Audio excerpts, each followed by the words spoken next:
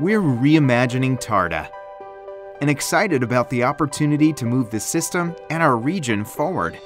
Today, we find ourselves at an important crossroads, giving us an incredible opportunity to reinvent together. Our community, customers, and businesses need a public transit system of the future. Currently, TARTA runs on a hub and spoke system.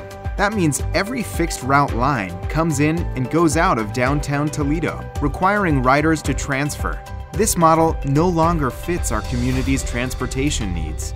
In addition, our region is preparing for economic and population changes. To achieve success, Northwest Ohio must have an effective, efficient, and responsive public transit system.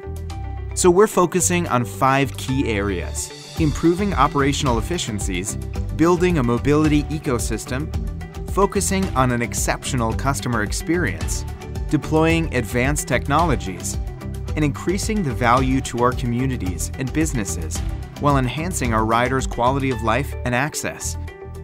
Now, keeping those five areas in mind, we're going to explore things like multimodal mini hubs, microtransit on-demand service to low-density and rural areas, and expanded paratransit service areas.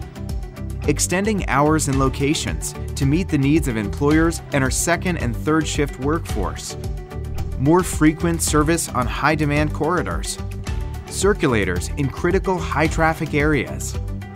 Building connections within our ecosystem to include things like bikes, scooters, rideshare services, van pools, intercity buses, rail, and more.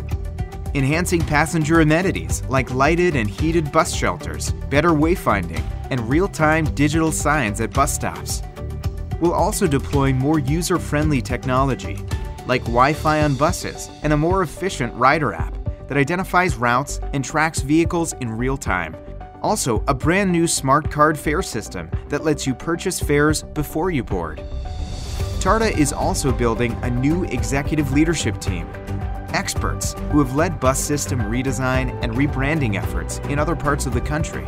We're excited about all the opportunities that lie ahead as we work with community members and employers to completely redesign a public transit system to carry our region into the future. We look forward to sharing ideas as we reimagine a public transit system that serves many kinds of riders, is a valuable resource for businesses, and helps all of our communities thrive.